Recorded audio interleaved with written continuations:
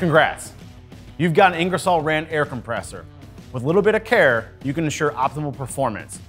This video is making sure your compressor isn't leaking air during or after operation and what to do if that happens.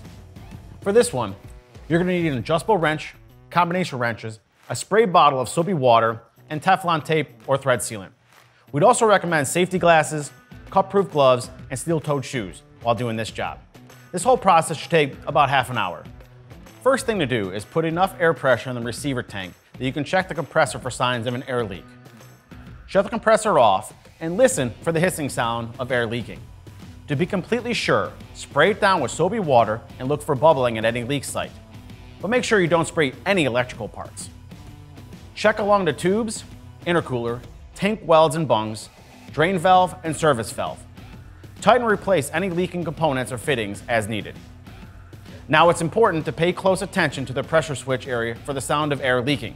Run the compressor until it reaches maximum pressure, that's 175 psi. And the unit is going to make a hissing noise at the pressure switch for several seconds at shutdown.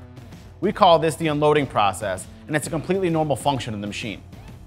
If the hissing sounds at the unloader valve continue and it drains the air tank pressure down to the point of the unit cycling back on again, then the issue is likely a malfunctioning check valve on the air tank.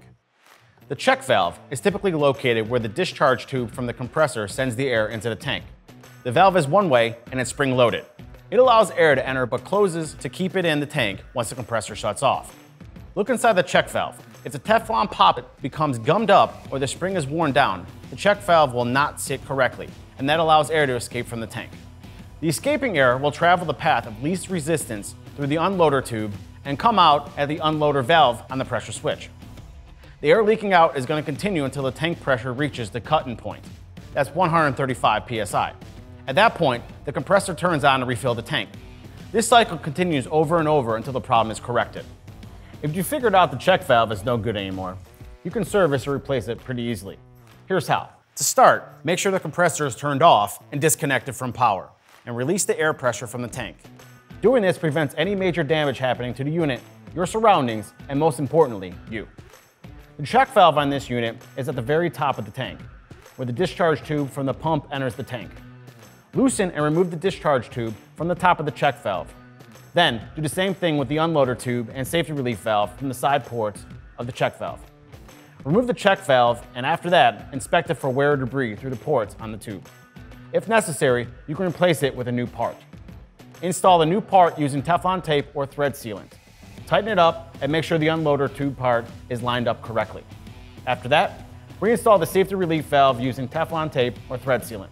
Then, reattach the unloader tube and discharge tube into the check valve. Check all your fittings, power the compressor up, and make sure the problem has been corrected. That's it. Hope you continue to enjoy the highly reliable and low maintenance air compressors from Ingersoll Rand, which delivers the right power for your project.